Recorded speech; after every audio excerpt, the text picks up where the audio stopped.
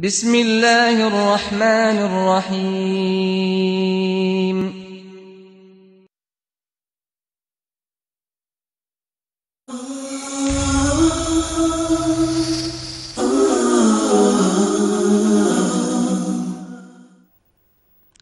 আসসালামু আলাইকুম রহমতুল্লাহ dear viewers welcome to youth hour আমার নাম ইসহাক আপনারা সবাইকে আমি স্বাগত জানাচ্ছি In our show today, we're going to talk about youth and religion. is really, really important for our community and people around the world. So in our show, we have uh, two experts, and really, I'm really blessed to have these guys here. On my right, we have Muhammad Qureshi Bhai Parvez. Welcome to our show. Ji, Assalamu alaikum, Isaac Bhai, and Assalamu alaikum, respected viewers of uh, TV. Fantastic.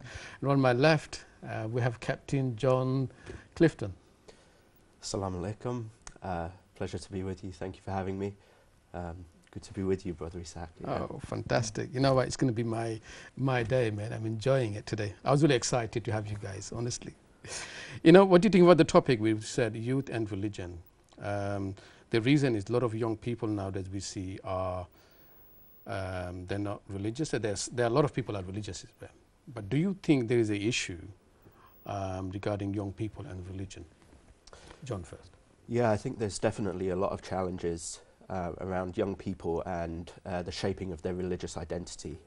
Um, we know that our, uh, our faith is shaped um, by our experiences as young people, not just our faith, but our whole life.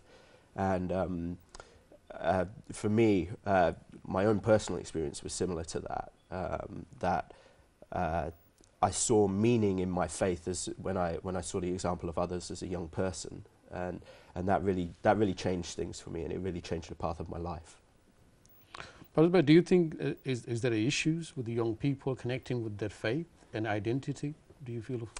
Oh, definitely. I think uh, one of the biggest challenge uh, uh, in our society now that uh, we are been, you know, we are in a crisis in terms of identity.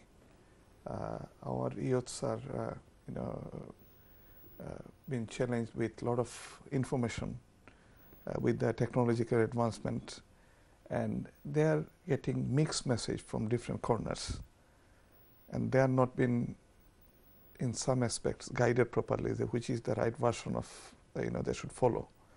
So they are they are uh, kind of puzzled with all this information, and uh, they have been left behind to find out or determine which is the right path.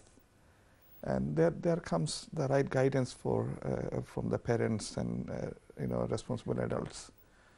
But yes, I mean compared to our upbringing, today's youths are facing even greater challenge, uh, you know, uh, to overcome their, uh, you know, youthhood.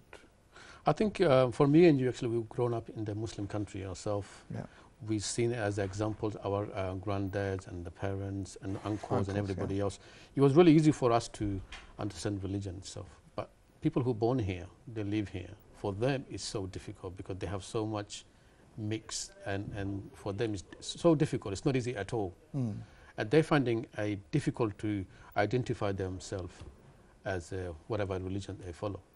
Do you think it's I, I, I, totally agree with you. I think when we were growing up, of course, uh, the only role models we had is our fathers, our uncles, our grandfathers, and, and, and, and our neighbors. And uh, for any question uh, which came to our mind, we used to go them, go to them, and Mm. try to find the solution from them, or even go to the library to find out the books and read the books, you know, hardback books. But nowadays, whenever uh, you see any youths, uh, they, they- you can see that they, they've got uh, their gadget in their hand. Any question, they, they just tap into the you know uh, internet. But how authentic the information is, how how good is the guidance is, the biggest uh, question.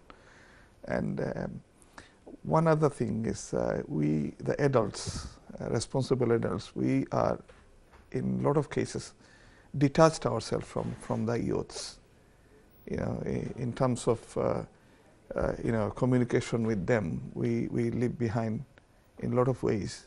Particular reason you think like we don't speak the same language we don't Some, in, in most cases, I mean, those, those children are growing up here, you know, they're, they're, they're born and brought up in a, a you know, mixed community where uh, their peer group are from many different cultures and uh, you know uh, race, and uh, we do not always affiliate with them. You know, so I think uh, in terms of uh, you know communication gap, it is very big. That's why they are Mm. facing even bigger challenge nowadays. John, um, you know, I'm really proud to live in UK because I, I, I love this country and um, Mm. I feel this is my country, you know, and um, we also see a lot of young people, um, like old people too, they're not into religion at all. Yeah. And they're getting a lot of information from probably YouTube and other places and um, they don't seem to connecting. Why do you think is there, is there any other cases you think?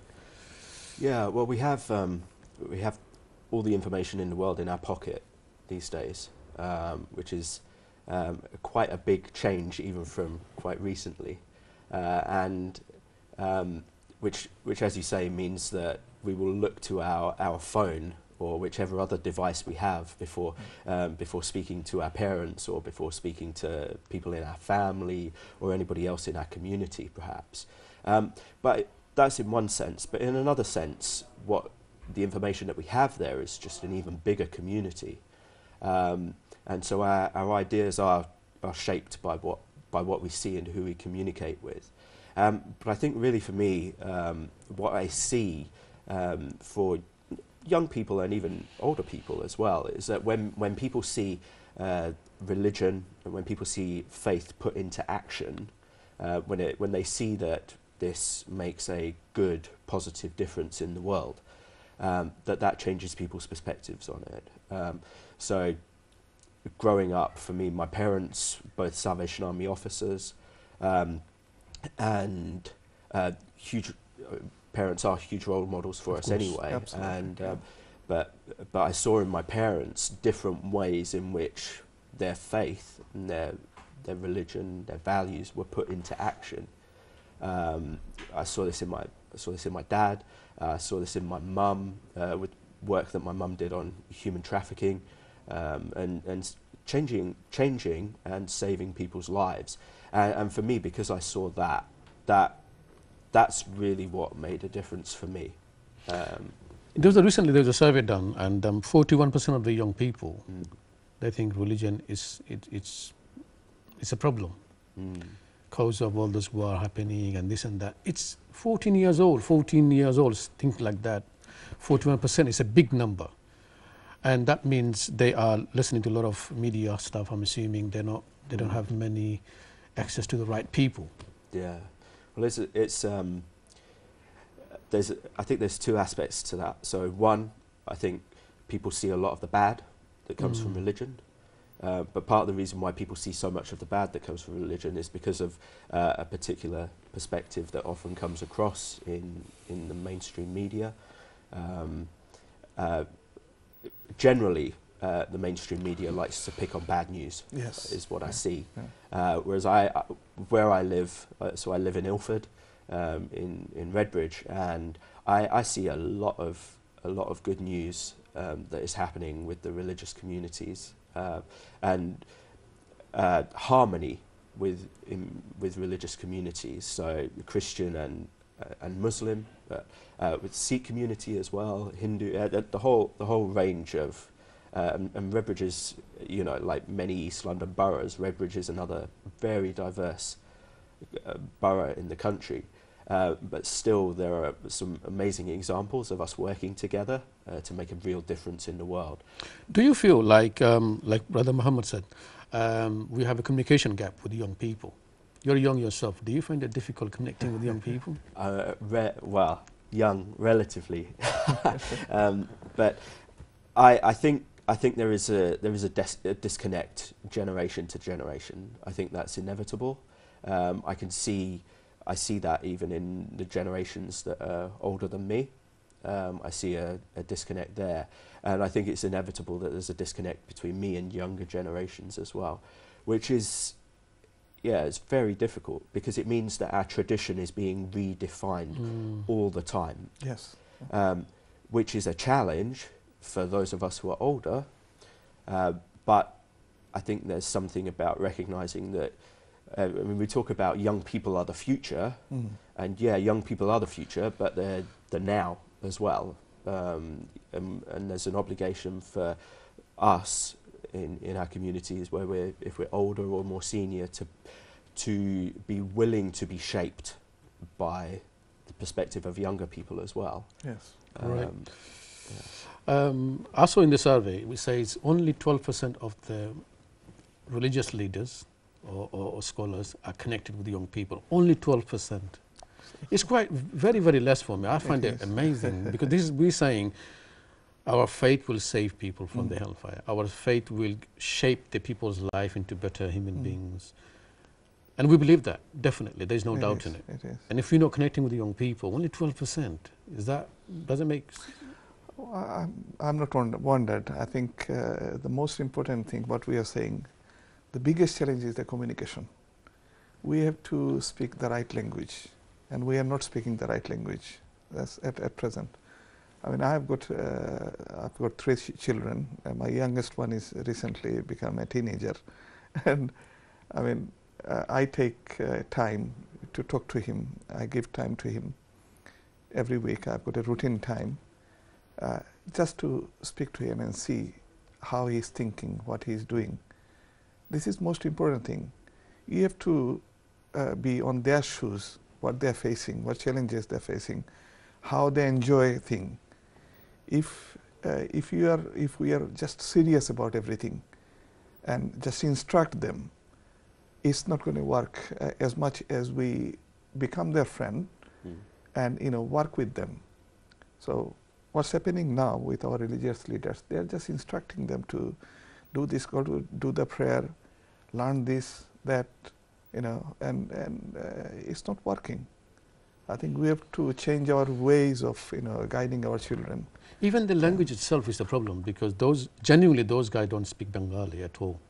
They can say yes, uh, kita coba. They can say all that stuff, Yeah, yeah. but they don't speak back. You can tell that they don't. Yeah. They're not comfortable. So when you tell them something in, in, in their own language, when they speak English, at least try to communicate in, in what which is our most important part is Uh, religion. So when they, when you go to khutbah, Mm. most of the boys, young people, they don't understand the khutbah because it's in, it's in Bengali mostly. Most of the places, Mm, not in all places in English. Mm. So I think we have to learn from that. yeah. If we don't want to lose them, that means we have to give them the, in their own space and give them own way they understood their No, message. absolutely, absolutely. I think one uh, thing I, I uh, enjoy, I live in uh, near uh, Green Street in Forest Gate, and I go to a mosque which is managed by you know Pakistani community, and in our khutbah, the imam gives khutbah in Urdu. Some part I do understand, some part even I don't. Mm. And when I think about my son, I, I, believe that he does uh, doesn't understand even one percent of it. Mm. You know. Yeah. But then again, he's sitting there for half an hour. And lis- he's listening because he's going with me. Mm. That's the thing. So what Isaac Bhai is saying is absolutely true. We have to create an environment where the communication gap is being bridged properly, so that they understand what we are saying, and they enjoy it. If they don't understand and enjoy it, then they're not going to learn. They're not going to be interested. When if we think ourselves we are sitting here, if we don't enjoy what we are doing, what we are talking about, that we are contributing our knowledge for the society, and if even one person benefits from it, that's, that's an achievement for us. Mm. If we don't think this way, then you know, we're not going to enjoy it and it's not going to work. The same thing. I think for our children, most important part is to make them enjoy the religion and, and the guidance. Then they'll learn from, learn from us. Otherwise, they're not going to learn from us.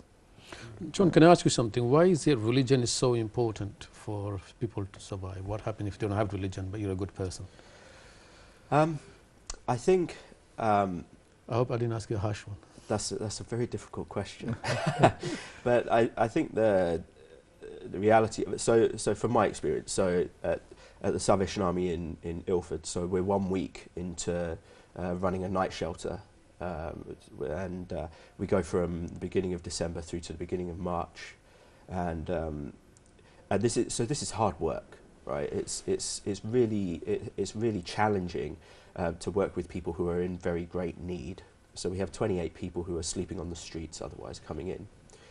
Now, for me, uh, without my faith, with, without um, the firm conviction that this is something that God wants me to be doing, um, without that spiritual depth, um, I, I would not be able to sustain this work over such a period of time. And this is this is our sixth winter. Um, by all means, we get tired. Um, you know, come January, we, we all get colds and we get uh, tonsillitis and all these sorts of things um, because we're, we you know late nights and so on and so forth. But um, but what sustains us is, is something very something at the very depths of our of our being, um, and so I think The reason I asked you, actually, there was a new survey done by YouGov, Okay.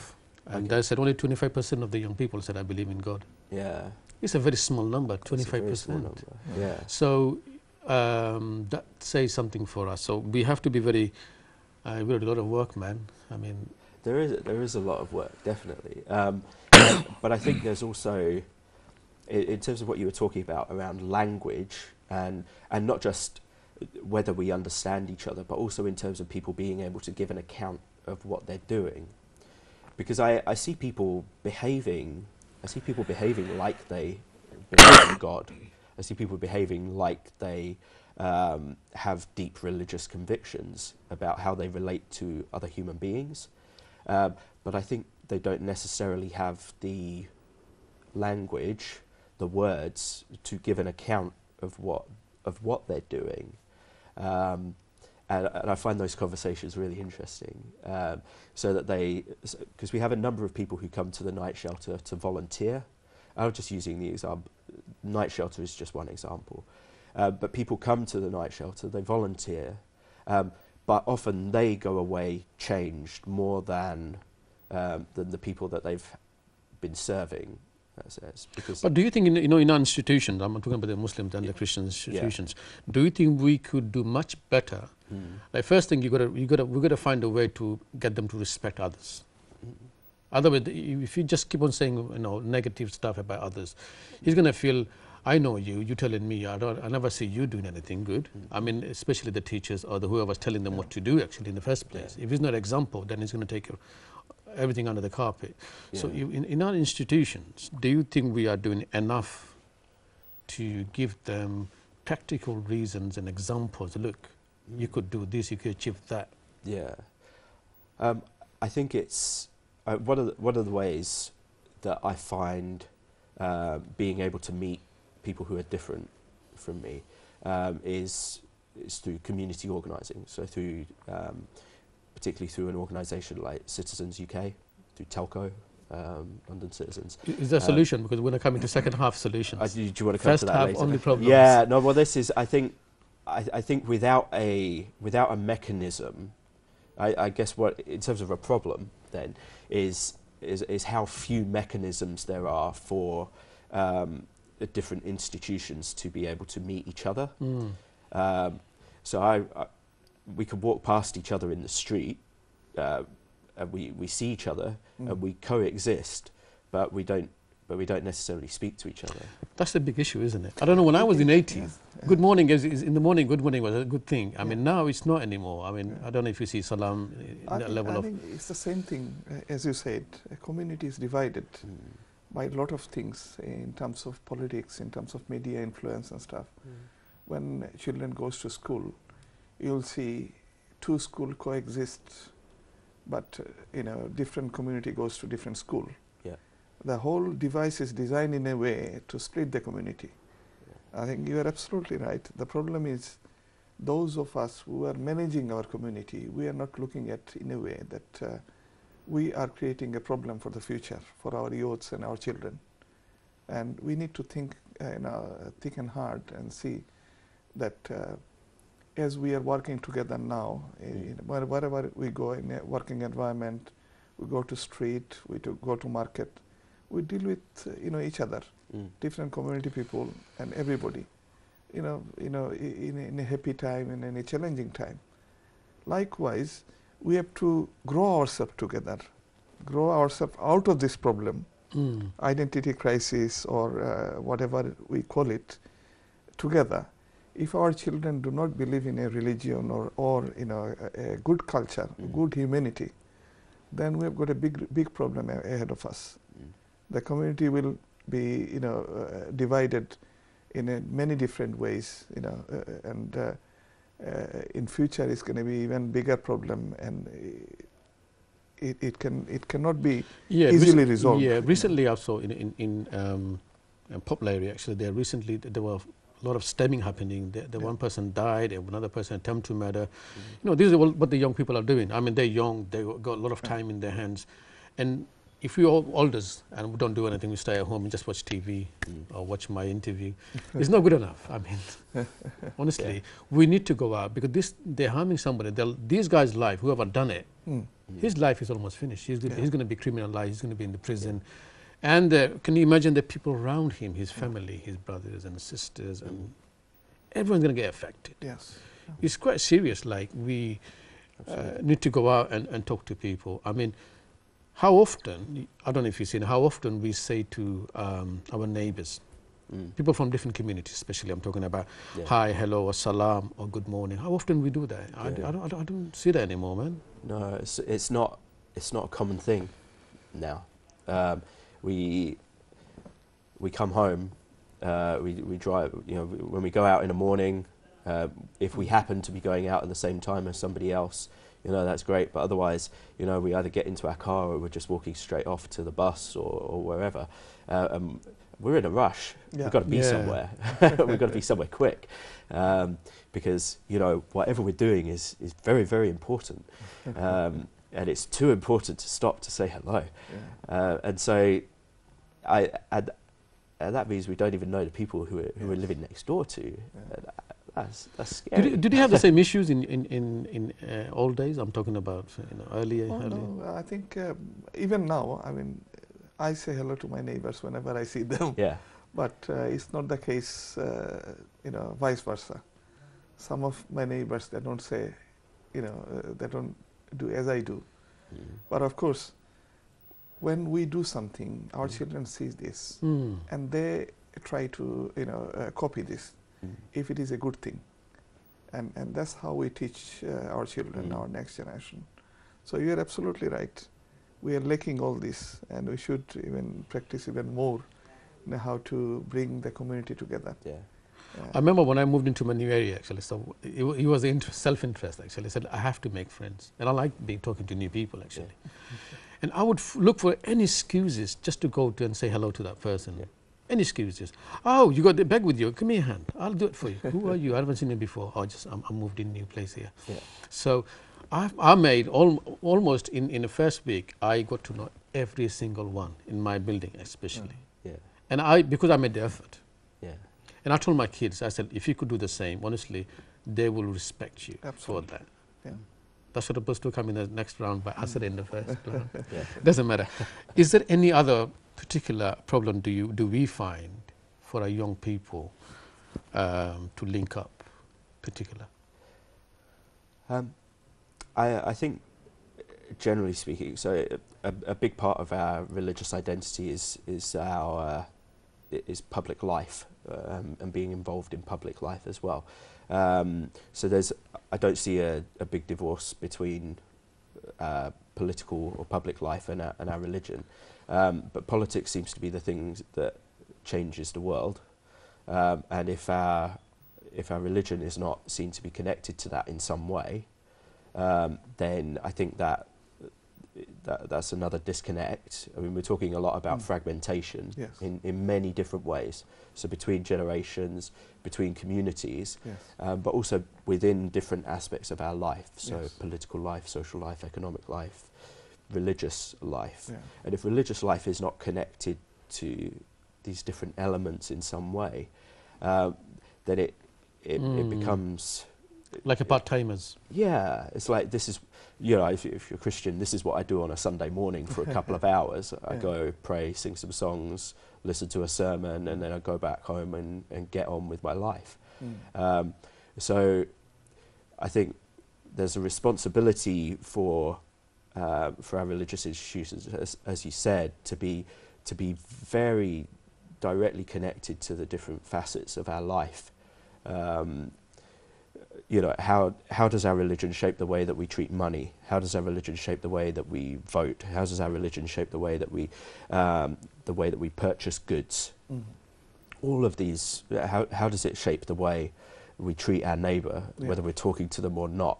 Mhm. um, and and I, and I think uh, as as a you know when you particularly when you're a young person. So I, I mean, if we're thinking about teenagers, for example, teenagers would want to see that teenagers are smart. Yeah. They're intelligent, and, and even you know I've I, I have two children, a three-year-old and a and a, a one-year-old. Tomorrow should be one. Um, they're smart. Even even that even that age, they know if something doesn't make sense, and if something doesn't make sense, they'll call you out on it. Um, and so I think I think in children and and in Do you people, feel- there's a do you there's a prophetic Yeah. voice that comes there as well to challenge us on the integrity of our of what we say. Do you think it's it's one of one of the issue is like we don't know our both faith. You know, we live in the UK, Mm. but we don't know my neighbours, so I don't know his faith. That could be a, a issue. I think definitely. Because Yeah. once you know, actually, you get powered, isn't it? I know about that person. Yeah. I know about these issues he goes Yeah. through. Are they wrong or right? That's a different issue, but I know. Um, before we go for a break, can I ask? Uh, um, we live in UK. If I ask you, how much do we know about? Okay, I'm going to come after, come to you after the break. Dear viewers, stay with us. We're going to go for a small break, inshallah. I'll see you after the break. Assalamu alaikum wa rahmatullah.